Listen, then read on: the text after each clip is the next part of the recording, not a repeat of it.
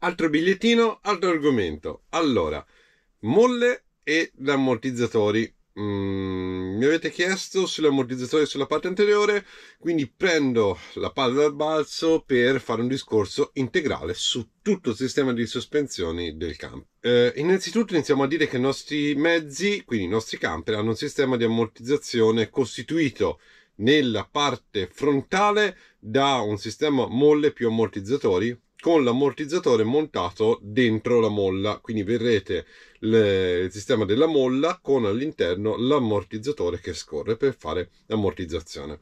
E invece nella parte posteriore eh, ci sono dei fogli di balestra e dei tamponi che servono per il fine corsa. Quindi la balestra ammortizza e lavora flettendo ok poi quando arriva al massimo della flessione per non andare oltre ci sono dei tamponi che la bloccano e non la fanno andare oltre. Quindi questo è il sistema tipico di quasi tutti i camper che sono in commercio. E a proposito di questo quanti ricordi di molle, ammortizzatori sostituiti per migliorare la dinamica di guida, l'assetto, l'altezza da terra, per avere un, pass- un stacco tra il pneumatico e il passaroto molto più stretto, addirittura poter far entrare il pneumatico all'interno del passaruota.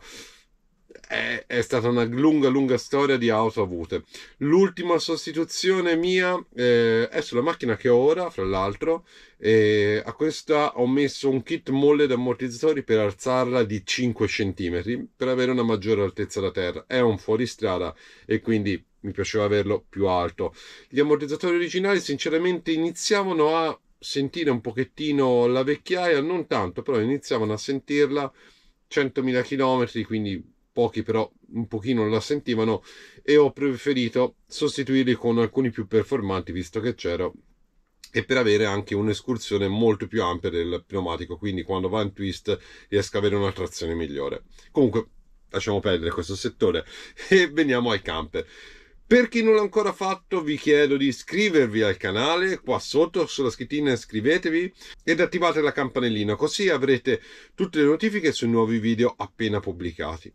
Lasciate anche sotto dei commenti, mi piacciono, mi piacciono, mi piacciono tantissimo, così vedo cosa ne pensate del video e vedo cosa volete che io racconti nei prossimi video gli argomenti da affrontare. Diciamo che tra i due sistemi di ammortizzazione quello che crea più problemi eh, nel mondo del camper è quello posteriore.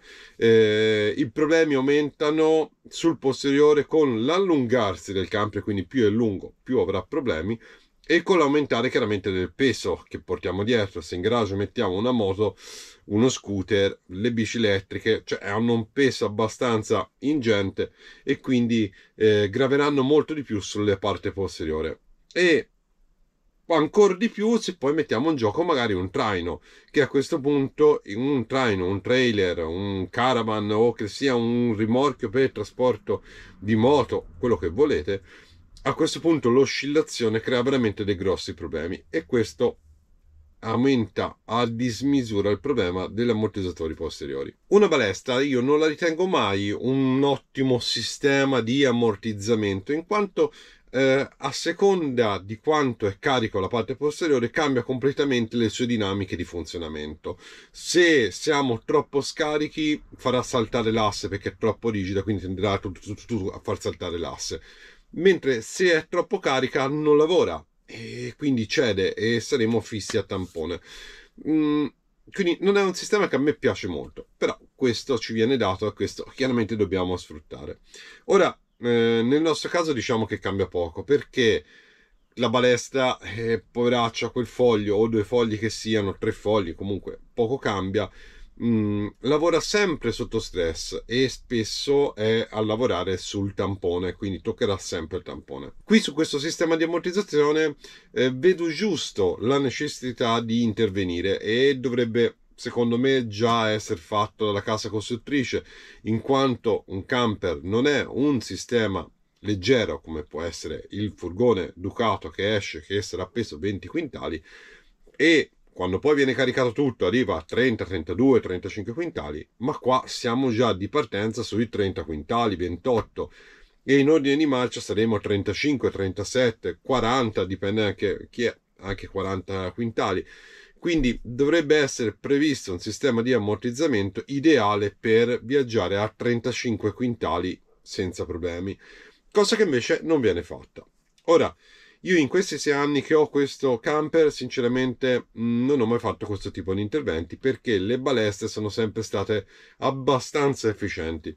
Eh, devo dire che pian piano si stanno mm, un po' stancando e quindi stanno un pochino scendendo e chiedono un aiuto. Diciamo così, iniziano a chiedere un aiuto. Negli anni, piano piano, hanno ceduto un pochettino. Sono sempre, diciamo, secondo me valide, non hanno ancora un grande problema, però sinceramente se aggiungessi dei soffietti delle sospensioni ad aria, sicuramente il eh, risultato sarebbe ottimale. Questi soffietti sono dei cuscinetti ad aria, delle sospensioni ad aria, che vengono inserite tra il foglio di balestra e il telaio al posto del tampone, quello originale, e consentono di poter essere gonfiate o sgonfiata a seconda della necessità e di creare sia una diversità di altezza da terra e quindi poter aumentare l'altezza da terra del veicolo che compensare il carico in maniera più sostanziosa rispetto alla balestra stessa.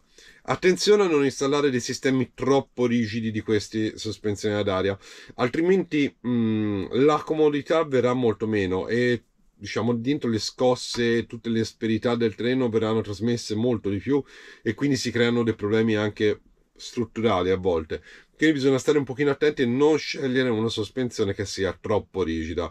Deve essere un giusto compromesso e se qualcuno comunque ha dei dubbi su questo sistema di ammortizzamento che dice che non è valido e non funziona bene, vi prego guardate i camion, tutti i mezzi pesanti, perché mh, mm, tutti questi mezzi sistemano, mh, mm, sistemano, tutti questi mezzi hanno eh, come unico sistema di ammortizzamento eh, dei sistemi simili ad aria e lavorano perfettamente. Chiaramente sono molto più grossi perché devono essere dimensionati al peso, però il sistema è questo, è un sistema ad aria. Ha ah, chiaramente il giusto compromesso tra comfort, rigidezza, e prestazioni lo vedrete quando li monterò, se un giorno mi deciderò a fare la spesa.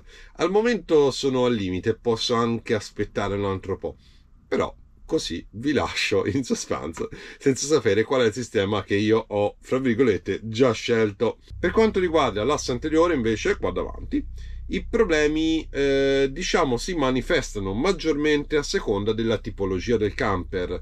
Mm, infatti per chi come me ha un semi integrale o mm, un furgonato i problemi sono veramente pochi mentre magari chi ha un mansardato e un motorhome il cedimento della sospensione è abbastanza evidente perché deve eh, sopportare un peso maggiore della struttura e anche quando magari affrontiamo le curve il coricamento laterale è molto più deciso perché il peso sul muso è veramente maggiore. Mentre su sinceramente su un semi integrale o su un furgonato il problema sarà molto molto ridotto.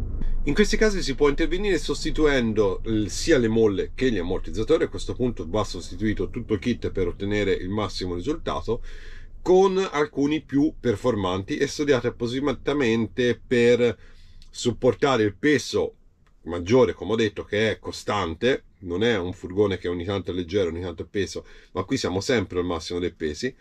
Quindi eh, un sistema che consentirà di sopportare questo peso costante e questo eh, porterà a un leggero anche irrigidimento delle sospensioni e quindi si sentiranno maggiormente l'asperità del terreno. Quindi va valutato anche questo discorso. Se non ne abbiamo necessità, secondo me è meglio non farlo. Se invece abbiamo necessità perché eh, affonda l'ammortizzatore, non ce la fa e cede, allora a questo punto, anche se diventeranno leggermente più rigidi le sospensioni, non ci sono grossi problemi perché compenseremo con la comfort di guida e una stabilità migliore. Sinceramente sul mansardato che avevamo prima questo problema si sentiva abbastanza, quindi eh, in curva diciamo affondava molto mentre con questo il problema è molto molto limitato, avendo un baricentro più basso perché non ha una mansarda, non avendo un peso esagerato davanti, il problema si risente veramente poco poco poco. Per chi come me guida abbastanza veloce, diciamo io non sono proprio uno che va piano piano piano piano eh, potrebbe aver senso comunque limitare questo coricamento laterale durante le curve e mm, cosa che invece si evidenzia molto su una curva e controcurva. Quindi se uno fa sinistra destra sinistra quindi classica S eh, questo mh, mm, coricamento si sente ed è abbastanza pronunciato. Chiaramente il mezzo è peso e quindi lo fa e magari mh, mm, limitare questo spostamento del centro di gravità e del baricentro eh, potrebbe essere buono perché così ridurremmo molto il fenomeno dell'imbardata, del rollio, del beccheggio. Sapete cosa sono? Non so, ora questo non sono cose che tutti sanno cosa sono, eh, però diciamo limitando tutti questi fattori si ha una guida molto più fluida. Beh, eh, come p- posso farvi capire cos'è?